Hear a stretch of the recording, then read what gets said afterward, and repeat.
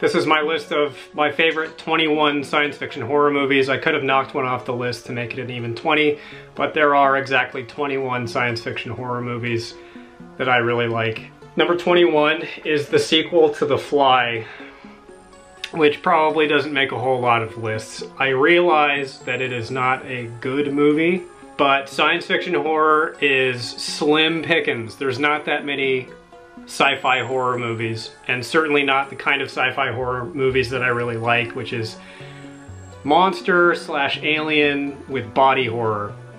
That's my flavor. There's really not a whole lot of it. So The Fly 2 hits those buttons and it manages to kind of weakly hit them. It has some really memorable, disgusting special effects. Some really, really good special effects, some monster prosthetics, some practical effects. And it's an okay plot. Some of the special effects definitely don't hold up. The characters are not memorable, but the ending definitely is memorable and there's a couple of scares slash gross out moments from this movie that honestly are pretty good. So bottom of the heap, number 21. Number 20 is Alien Resurrection. This movie gets a lot of shit and sure it probably doesn't age that well, but honestly, to spoil some of the rest of the list, I like it more than Alien 3. I definitely like it more than Prometheus and definitely, definitely, definitely like it more than, uh, I hate the movie so much I can't even remember it. The, the, the latest Alien, the one with the two Davids. Alien Resurrection, it's just, it's got like this goofy 90s weirdness. It's really madcap. If you take it on its own merits, if you don't compare it to the other Alien movies in the franchise, in the original quadrilogy, it's kind of charming and it's kind of a fun movie. Winona Ryder's in it and she's decent.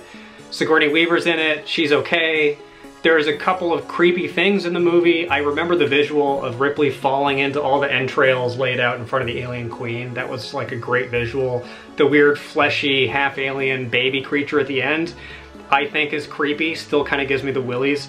And there's a couple of I, I, the action scenes where the chest burster is coming through the guy's head and it's all, you know, pulse pounding techno music. I, I'm kind of a sucker for movies from that era and it definitely still charms me. Number 19 is Sputnik, which is, I think, the most recent movie on this list. It's a movie about cosmonauts that come back to Earth and one of them is carrying an alien that he brought back with him from his journey into space, and I can't say that much more about it without spoiling it. Uh, they bring in a female psychologist to try to help debrief him from the mission, and it devolves into a pretty okay science fiction horror movie. Number 18 is Life. I think this, yeah, Jake Gyllenhaal, and I think Ryan Reynolds. I could be wrong on that. It's okay. It's a movie about people in space and there's an alien parasite that infects one of them and I remember like two scenes from the movie. I saw it in the theater when it came out. It's science fiction, it's body horror, there's aliens in it. It's okay. I don't remember hating it. So number 18. Number 17 might piss some people off, especially in light of the fact that Alien 3 is not on this list. It's the remake of The Thing, the 2011 remake slash reboot of the John Carpenter The Thing. I, this movie gets a lot of shit and deservedly so on some level. Famously, they decided, the studio decided at the last minute to roll back all of the practical effects that they had built for the movie, all the animatronics and the practical effects, which is one of the main endearing points of the original, the original movie, in place of kind of bad CGI. And I I not only don't like CGI in movies, I hate CGI in movies. Ever since I was a kid, I've hated CGI in movies. I've always thought it was tawdry. I've kind of gotten used to it a little, but my eye still hasn't. And even the best CGI effects, I can still tell that it's happening and I'm still, on some level, there's a little a little 12 year old snob in me that's insulted every time I see CGI movies. So I, I fully resonate with that criticism of the movie. Also, all the characters are flat. None of them are particularly well written. They do away with a lot of the subtleties of the original movie. They rework the character of the thing meaning like the personality of the thing. So it's really blatant. It's right out in the open. It's way more of a monster movie than the original. Um, all of that being taken into account, it's still a watered down derivative of one of the finest science fiction horror movies ever made. So even this denigrated form of the thing is still better than the majority of horror movies that I see. Yes, in comparison to the John Carpenter movie, it's a piece of shit. But in comparison to many, many, many other horror movies and sci-fi horror movies, it's still better, it's still more watchable. I've probably seen it five times.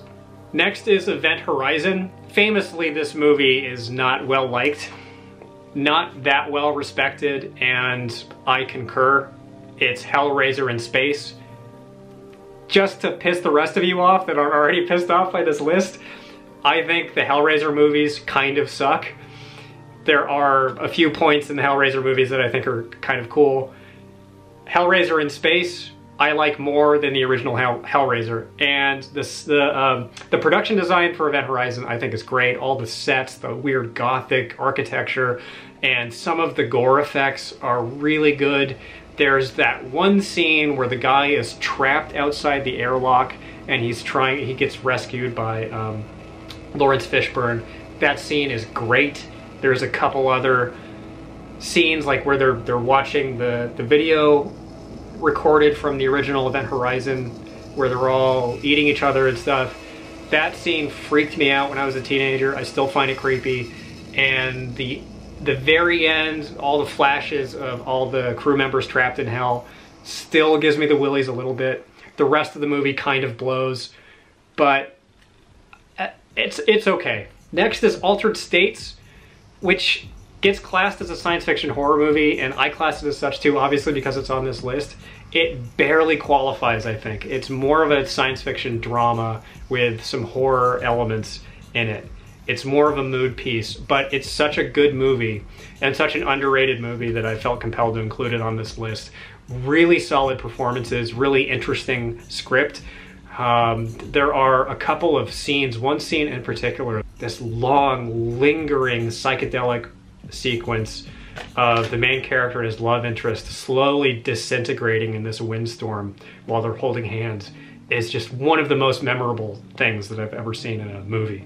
And the, the special effects don't really hold up all that well, but I just really like it. I really, really like the movie. And I only saw it one time, but it still sticks with me as something that's that actually pulls off being resonant and impactful and meaningful and also science fiction and also a little bit of horror. Number 14 is From Beyond, which is this cornball B movie from the 80s very Lovecraftian. I don't remember if it's actually based on a Lovecraft story. I think it might be. It's about a guy that builds a machine that, that disintegrates the boundary between this dimension and an overlapping alternative dimension that's full of monsters.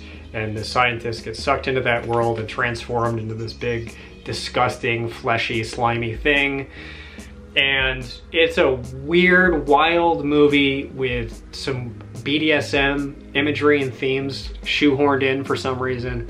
And it's a bad movie, but it has Jeffrey Combs or Coombs, never been clear on what the correct pronunciation is in it, and he's great. And I just realized that I left Reanimator off this list. Whatever, throw it in there somewhere, it's pretty good.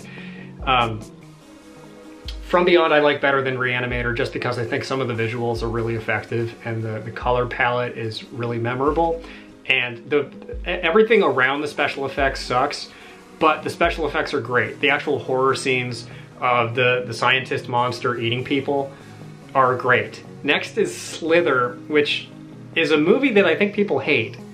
And I don't understand why, because it was directed by James Gunn, and the things about the movie that annoy me, I think should be selling points, should make it a more popular movie now. It's It fits in with the, sensibility that people have now. The, the stuff that annoys me is it, it's like very Joss Whedon-y. It's very kind of kind of quippy, epic, oh, well that just happened, that kind of shit. There's a lot of that in there. It's a sci-fi horror comedy and about half of the comedy is really irritating and the other half is actually okay, actually works as comedy. And the horror parts of it are really good. Really, really good. It hits that sci-fi body horror button right dead center, and it hits it hard. There are special effects in the movie that are derivative of other sci-fi movies that are higher up on this list, but it's pulled off really well. The special effects hold up, and they're disgusting. There is a couple of scenes that I think the scene with the lady in the barn who's inflated to 100 times her size is stupid.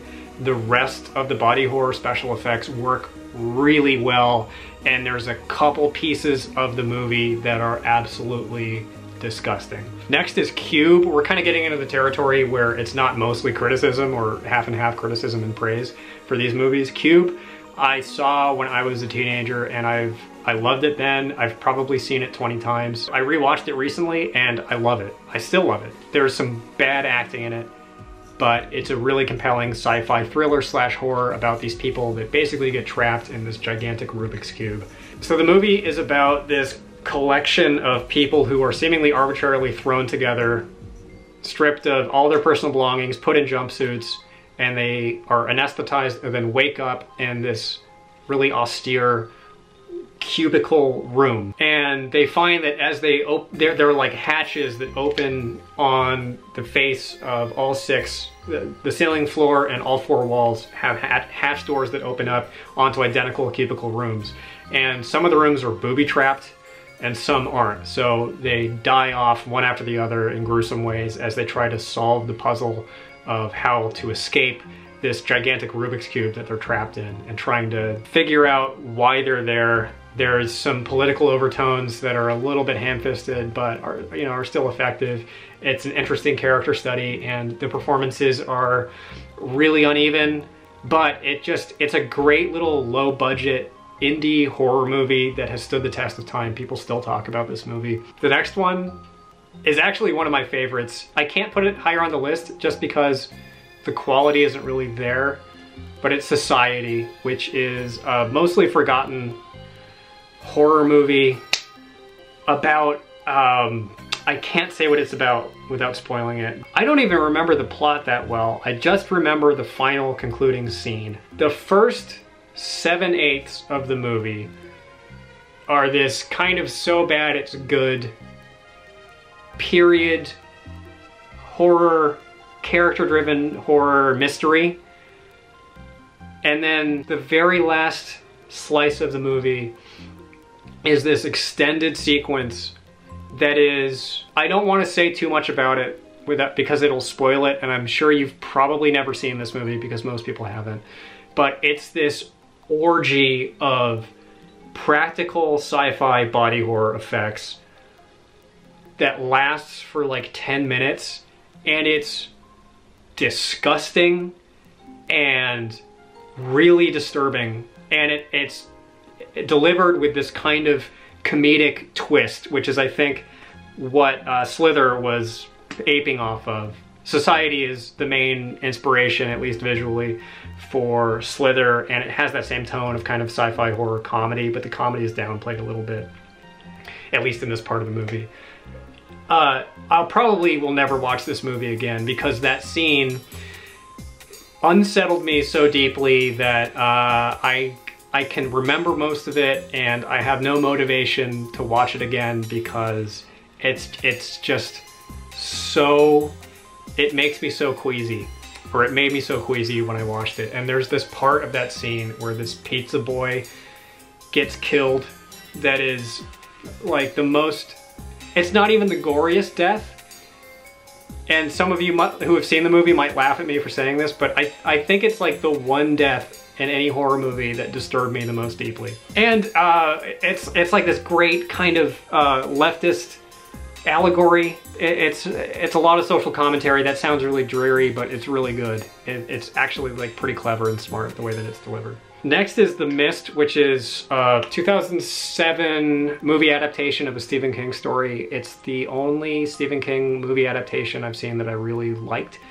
And it's the typical small town Stephen King setting. There's a dad and his kid who wind up trapped in a grocery store, the local small town grocery store, as this supernatural mist comes rolling in over the countryside And the mist contains all kinds of creepy crawly aliens or monsters. They don't know exactly what's happening or what they are, but the townspeople get picked off one by one, and then there's this religious hysteria subplot that honestly I could do without. It has, speaking of uncomfortable endings, it has the bleakest ending of any movie that I've ever seen. The most depressing, the most hopeless, the darkest ending that just comes out of nowhere seemingly and credits roll and you want to cry. Next is the 1988 remake of The Blob, the famous B-movie from the 50s. The Blob is self-aware of its origins. It doesn't take itself terribly seriously and it plays with all of these tropes of horror movies, especially B-movie horror tropes from the period. And there are these stock characters. It contorts those tropes and those expectations into something that's unique and surprising. And the movie is always kind of heading you off at the pass a little bit and showing you something that you weren't quite expecting. And the the gore effects are like superb. Again, there are scenes from the movie that are so gross that I can mentally picture them perfect, like with perfect lucid clarity. I can see people melting in really specific, vivid ways. It's just really, really good. It's uh, a movie that nobody really watches anymore. It got a, it got a review from the Red Letter Media guys, and I think that turned more people onto it, but it's totally worth a watch. It's so, so, so much better than you would anticipate.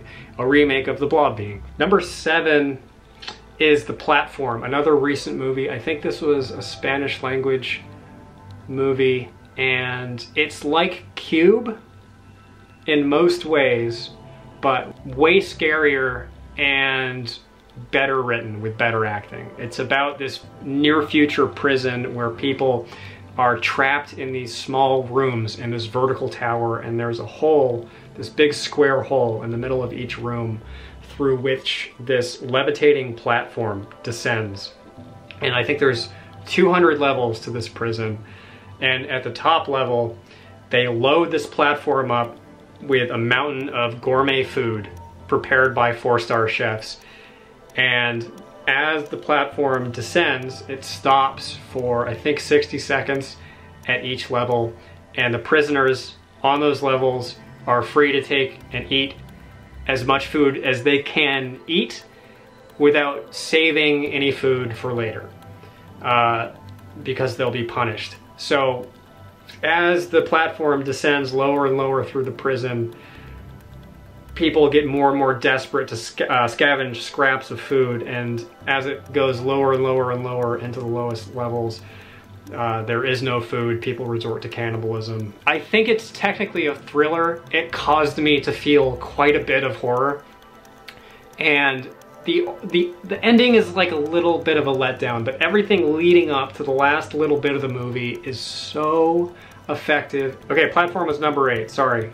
Number seven is 28 Days Later, which I'm counting as a science fiction horror because the origin of the zombies is a virus. It's the only zombie movie that I really buy. There's that one, the one zombie, I don't remember what it's called, but it has, uh, what's his face? The guy who played Tim in the British version of The Office. There's one other zombie movie that I like. It's like a movie about parenthood that happens to have zombies in it. That one's good too, but 28 Days Later, it does this thing where there will be a jump scare in the middle of just a completely like a scene that has not been building up to a jump scare at all. They're completely unearned jump scares. Zombies just break through a window in the middle of a piece of dialogue and it just scared the shit out of me. I think still the best zombie movie ever made. Number six is Aliens. Aliens used to be like number two or number three for me. And I will say this, every time I watch Alien, I like it more. Every time I watch Aliens, I like it just a little bit less. And we're starting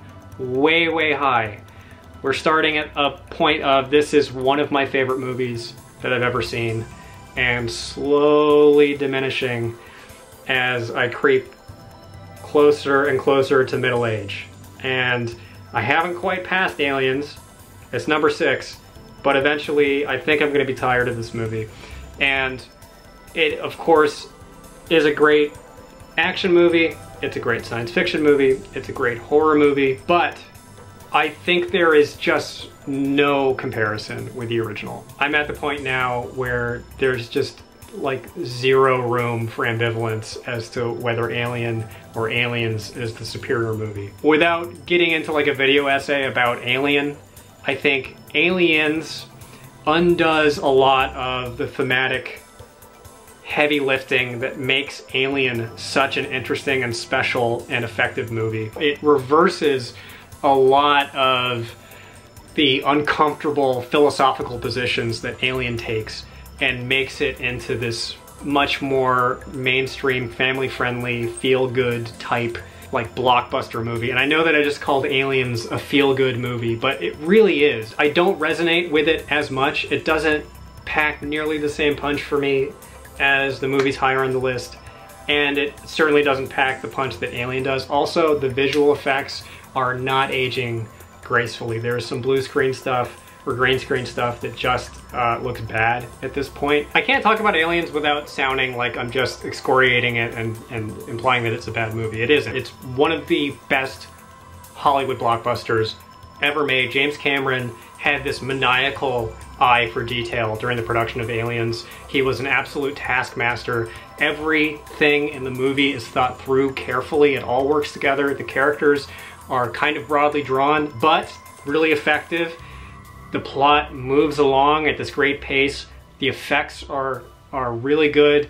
Um, builds tension really effectively and holds it and then releases it at the right time.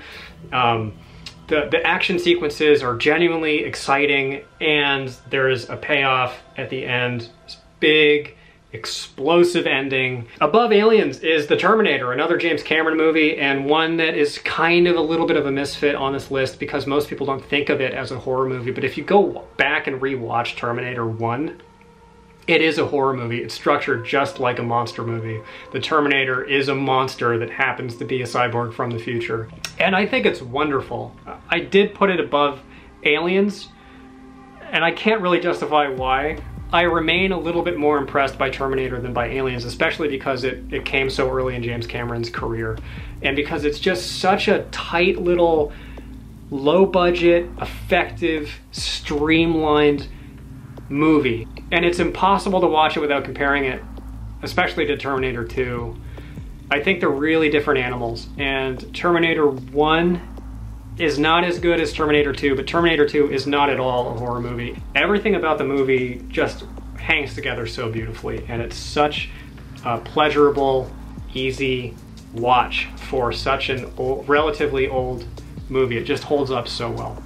So number four is Tremors, which also kind of doesn't quite belong on this list, but I included it really, frankly, just because I wanted to, because I love the movie so much. In terms of comedy horror, I don't think Tremors has been surpassed. It's like a low budget horror movie about a town, a really, really small town out in the desert that is besieged by subterranean, gigantic, carnivorous worms that have tentacles that come out of their mouths that key in on vibrations on the ground and pop out and eat people. And it's wonderful. The practical effects are superb still hold up really well. The characters are not terribly sophisticated, but just great. I remember every single character, and maybe it's because I've seen the movie like 40 times in my life, but I still can can remember all the defining characteristics of each of the main uh, cast members. The Burt Gummer character is just timeless. There are scenes in the movie that still make me laugh when I watch it and it's genuinely pretty scary. It just is one of those movies that I never get tired of watching. Number three is The Fly, the Jeff Goldblum version of The Fly. This is a David Cronenberg remake of a B movie from the 50s. It, arguably, there are other David Cronenberg movies that could belong on this list, but The Fly is the one Cronenberg movie that is true science fiction horror.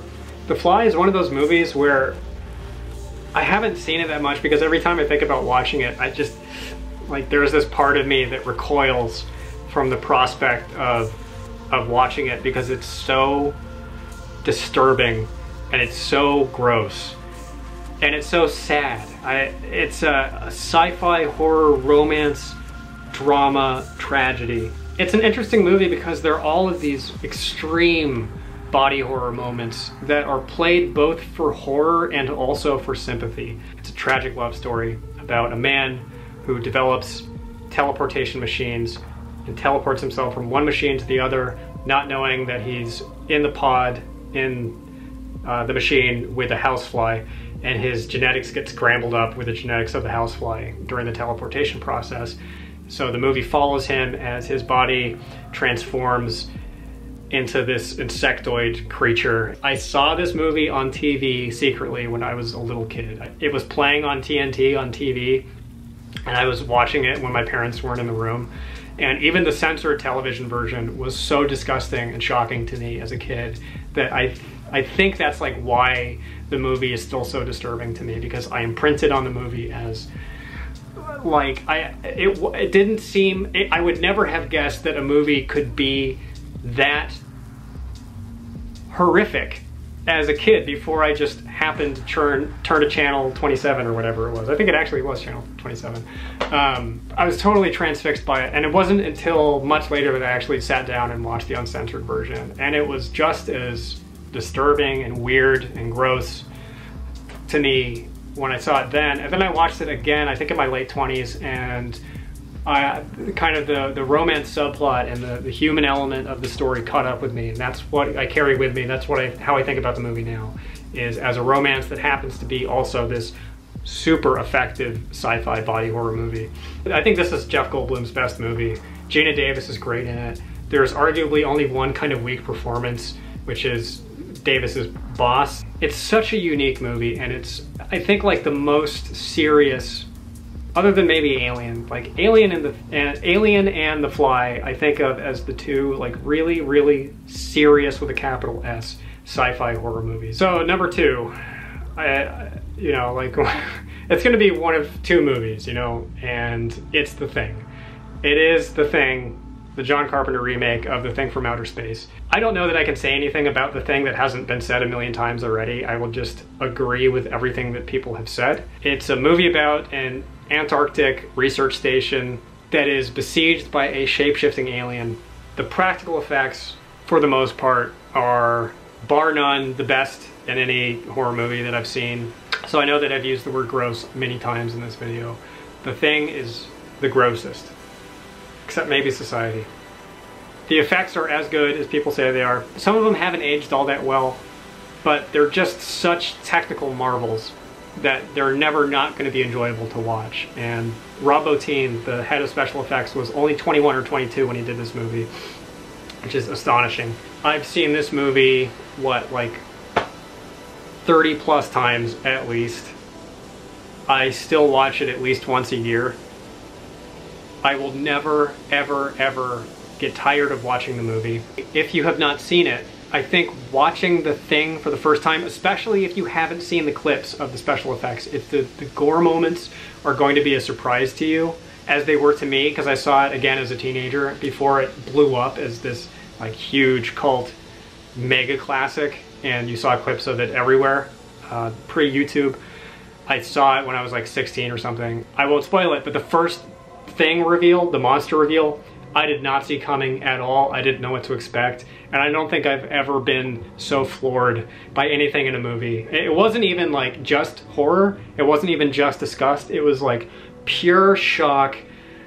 I could not believe what I was seeing. And it's this firework of a special effects sequence that just gets crazier and crazier and crazier.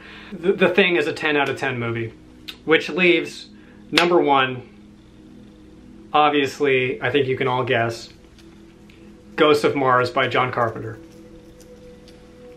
So it's Alien. Alien is the number one. Alien is the best sci-fi horror movie ever made. Alien is the best science fiction movie ever made. Alien is the best horror movie ever made. Alien, arguably, is the best movie ever made. And I am biased because I love sci-fi, I love sci-fi horror. So of course, my tastes push me in this direction. Whatever big 800 pound gorilla movie you want to put up against Alien, I really have never seen one that I can make a case is superior to Alien. Alien is, I want to say, truly perfect, like truly flawless. There is one flaw, one criticism that I have, which I will get to. So the reason why Alien is so great is not just that the acting is perfect, the casting is perfect, the production design is perfect, the special effects are groundbreaking and still hold up for the most part. Almost every frame of the movie looks beautiful still. All, all of those things being true, the fact that there are these like incredible scare moments. There's a jump scare that is probably like the most well-earned jump scare of any horror movie that I've seen. Uh, I, I've never been more frightened by a movie than I was by Alien when I saw it for the first time even being familiar with all the tropes, knowing kind of what was coming, I was like beside myself when I was watching it. I was like, again, I was like 15, 16 and barely held it together. This already puts it in a league of its own. The level of thematic sophistication in that movie is unmatched. It is truly peerless. There is an entire body of real scholarship, of like critical theory papers that have been written about Alien. There's so much to unpack in this movie.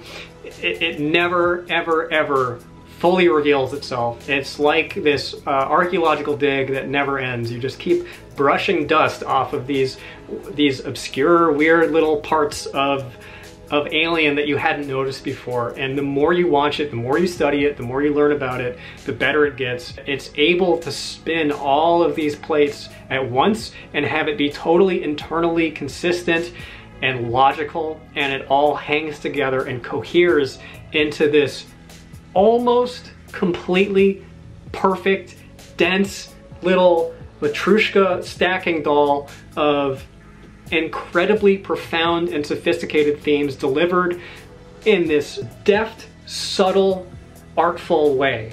There's no other movie that generates horror in the way that Alien generates it, which is, it's not just that we're under attack, it's not just that our lives are at stake, it's that on an individual level and on a species level, we're also humiliated we're also violated in every possible way. Famously, Alien plays upon male sexual insecurities, so it's a lot of imagery of oral uh, rape and um, all this phallic imagery, impregnation, childbirth. There's another layer above that. I think the main point of the movie, and I, I didn't kind of reach this conclusion until the last time that I, I watched it, I noticed that there was this theme at play that I hadn't noticed before, which is it's a, a cynical refutation of kind of futurism, technological optimism, technological triumphalism, where the, the crew of the Nostromo wake up and they appear momentarily to be masters of the universe. They're awakening in this sterile white room. They're taken care of by Mother. Uh, it seems that they are in control and then very quickly they're thwarted first by the alien planet that they land on. All their instruments fail. They descend into kind of interpersonal chaos. They cease to function as a team. They cease to communicate effectively. They're all at odds. And then the alien comes into the picture and just obliterates them. Like people have called it a haunted house movie in space and I think like you can go one layer deeper and say that it's it's almost like um, it's almost like a caveman movie. So they're going through these dark caves and tunnels trying to battle this creature in pitch blackness and it's, it might as well be a lion on the Serengeti. And I think that's really the point of the movie. That's one of the reasons why it's so effective. That's one of the reasons why it's still so effective and one of the reasons why it is going to continue to be so effective on a thematic level is that it's just, it's, it's humanity meeting a hard stop on its pursuit of progress. Uh, we go out into space and we find out that not only are we not masters of the universe, we're not masters of ourselves, uh, we're masters of nothing. Our only real purpose is to be fodder for stronger uh, stronger species that aren't even intelligent, that just on a biological level are superior entirely to us, are stronger than us, that we are inherently just a weak animal. And that's my one criticism of Alien, which is that Ripley survives at the end. And I'm not just pulling this out of my ass. The original script had Ripley dying at the end. It was supposed to be a completely pessimistic movie. It was supposed to make that statement totally. And I think in light of that fact, the ending actually is fairly cheap. And when you watch it, you can kind of tell that it's a studio mandate that that be changed. In fact, they apparently threatened to fire Ridley Scott because he was so recalcitrant about the ending and he was sticking to his guns and they had to hold a sword over his head to get him to change the ending. And I know that that's heretical to Alien fans, but I would be perfectly willing to sacrifice the entire rest of my beloved Alien franchise to have Alien be intact as this perfectly bleak, perfectly pessimistic message.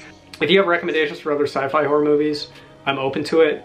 Please don't recommend The Void. And if it's not on this list, it's probably because I did not feel that it belonged on the list. But if I happen to have missed something, I am endlessly thirsty for more sci-fi horror movies to watch. So if you've got something in your back pocket that you think I might like, then I'm, I'm open to it. And uh, I'll see you in the comments.